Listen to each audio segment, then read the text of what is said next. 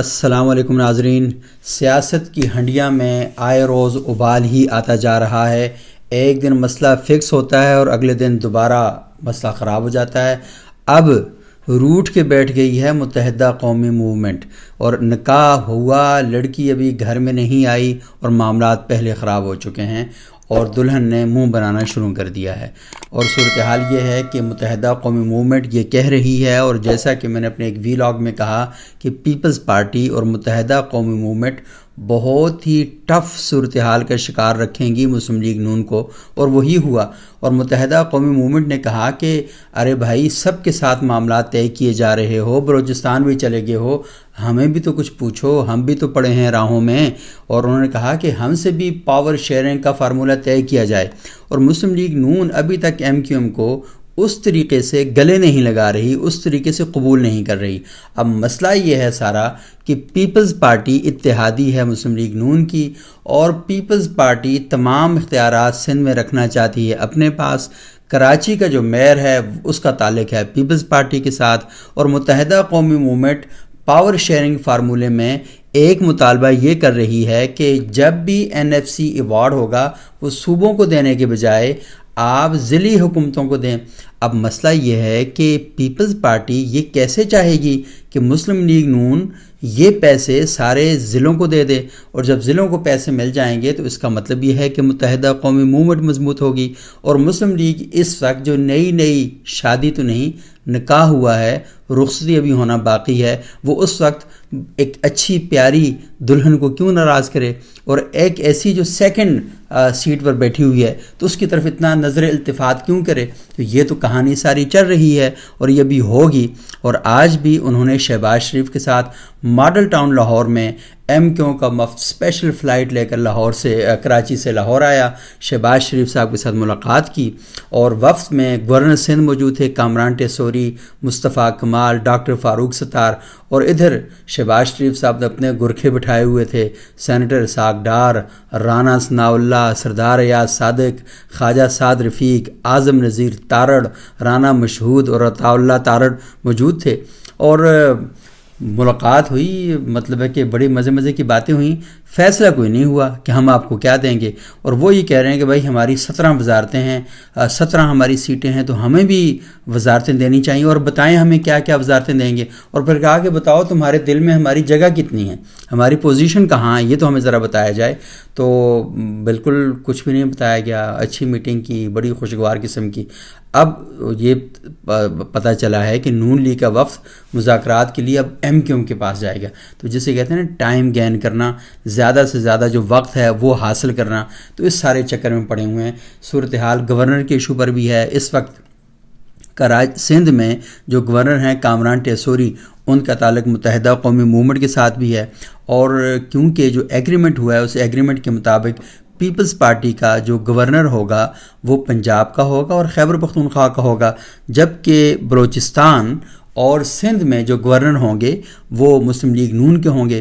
पंजाब में और खैबर पख्तूनख्वा में जो वज़ी अली होंगे, खैबर पख्तूनख्वा में वो तो तहरीक इंसाफ के होंगे, लेकिन पंजाब में वज़ी अली मुस्लिम लीग नून की होंगी, मरीम नवाज़ साहिबा।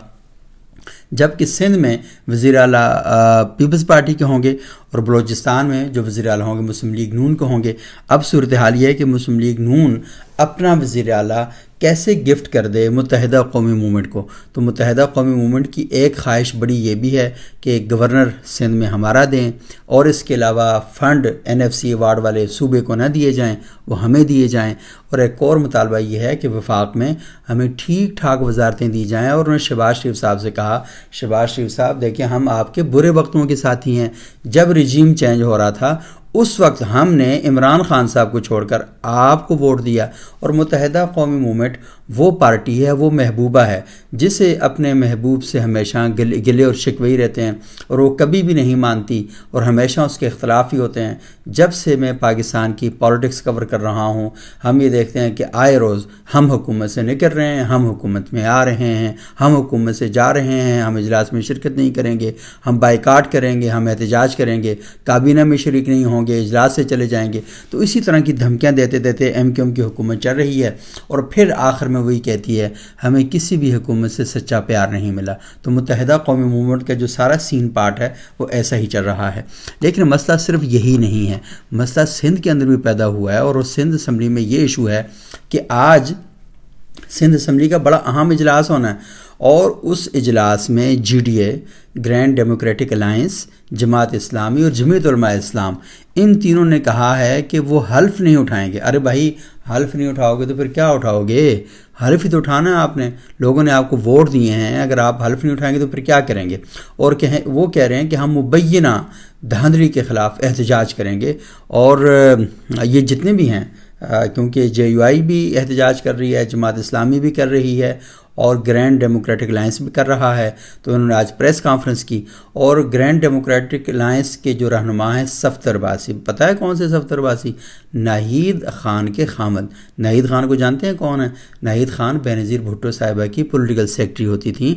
तो सफ्तरबासी साहब पीपल्स पार्टी के बड़े अहम रहनुमा थे। वो J D M G D A में शामिल हो गए और उन्होंने और तहरीक इंसाफ, सिंध के जो सदर हैं, हलीम आदिल शेख, जो किसी दौर में मुस्लिम लीग काफ में हुआ करते थे, उन दोनों का कहना है कि सिंध के छः करोड़ अवाम के हक पर डाका डाला गया। कल एहतजाज के लिए सिंध असम्बली जाने से रोका गया कि देखेंगे क्या करना है। उधर हाफिज़ नईमान साहब, जिनके बाद सूबाई असम्बली की सीट थी, उन्होंने कहा कि ये सीट मुझे धांधी करके दी गई है। उन्होंने सीट वापस तहरीक इंसाफ को दे दी और उन्होंने कहा कि एम क्यू एम एक रिजेक्टेड पार्टी है वोट तहरीक इंसाफ और जमात इस्लामी को पड़े हैं। और उधर जो जमीत इस्लाम मौलाना फजलरमान साहब का ग्रुप है, उसके जो रहनुमा हैं, मौलाना राशिद समरो साहब, उन्होंने कहा है कि सिंध भर के कारकुनान सुबह सिंध असम्बली पहुँचें। जी डी ए और दीगर सियासी जमातों ने आइंदा का जो लाया अमल है, उसके लिए कमेटी बनाने का ऐलान किया है। अब सिंध असम्बली का अजलास आज सुबह ग्यारह बजे होना है, जहाँ नौ मंतखब अरकान हल्फ उठाएँगे और इसमें जंगल में मोरना चाह किसने देखा? इनके पास दो ही कम है। जे जमात इस्लामी के पास एक सीट है, जे यू आई के पास ही बहुत कम है और इसी तरह जी डी ए के पास भी। तो अब ये एहतजाज करेंगे तो क्या करेंगे? अब मसला ये है कि खाएगी का क्या और दिखाएगी क्या? ये सीन है। लेकिन एक बड़ी खुशगवार ख़बर भी आई है। और वो ख़बर यह है कि पाकिस्तान में आपको पता है कि गैस का कितना बड़ा बहरान है। रात को गैस चली जाती है, गैस की लोड शेडिंग हो रही है। बहुत मुश्किल से लोगों ने ये वक्त गुजारा। गैस के पैसे बहुत ज़्यादा, जो बिल हैं, बहुत ज़्यादा आ रहे हैं। लेकिन अब एक बड़ा फ़ैसला हुआ है कि पाकिस्तान का पंद्रह साल बाद पाक, ईरान, गैस पाइपलाइन जो मनसूबा है उससे मुतक एक बड़ा फ़ैसला किया है। और काबीना की जो तोानाई कमेटी ने ईरानी बार्डर से ग्वादर तक इक्यासी किलोमीटर पाइपलाइन बिछाने की मंजूरी दे दी है। और ईरानी बार्डर से ग्वादर तक पाइपलाइन की जो तमीर है उस पर 45 अरब रुपए की लागत आएगी। पाइपलाइन बिछाने से पाकिस्तान 18 अरब डॉलर जुर्माने की अदायगी से बच जाएगा। और एलएनजी के मुकाबले में ईरान से 750 मिलियन क्यूबिक फुट गैस इंतहाई सस्ती मिलेगी। ईरान से गैस ख़रीदने के नतीजे में पाकिस्तान को सालाना पाँच अरब डॉलर से ज़्यादा बचत होगी। ईरान 18 अरब डॉलर जुर्माने का नोटिस वापस लेगा। पाकिस्तान अमेरिका से आईपी मनसूबे पर पाबंदियों से इस्तेना मांगेगा। ईरान, तुर्किया, इराक और अजरबैजान के साथ गैस की ख़रीद फ़रोख्त कर रहा है, जिस पर पाबंदियाँ नहीं हैं। एलामी के मुताबिक निगरान वज़ीर तोानाई मोहम्मद अली की सदारत काबीना की तोानाई कमेटी का अजलास हुआ, जिसमें ईरान से गैस दरामद के लिए ईरान सरहद तक 80 किलोमीटर पाइपलाइन तामीर करने की मंजूरी दे दी है। आपके इल्म में है कि ईरान ने जो पाकिस्तान, पाक इंडिया पाक इंडिया जो गैस, ये पाइपलाइन प्रोजेक्ट था, उसका अपना काम बहुत पहले से मुकम्मल कर रखा है और गवादर से थोड़ा सा आगे जाएँ, जो पाक ईरान बॉर्डर आता है तो वहाँ पर उनका जो पाइप है, वो आगे से जैसे ना, जैसे आप पानी के नलका होता है, उसको आगे से टी लगा के बंद कर देते हैं। तो इस तरह का वो ख़ुद मैंने देखा वहाँ पे, वहाँ तक मौजूद है और हम लोगों ने अपनी कमिटमेंट पूरी नहीं की, जिसकी वजह से ईरान ने 18 अरब डॉलर जुर्माने का नोटिस भी पाकिस्तान को दिया है, क्योंकि आपने एग्रीमेंट किया, उस एग्रीमेंट पर आप अमल दरामद नहीं कर रहे।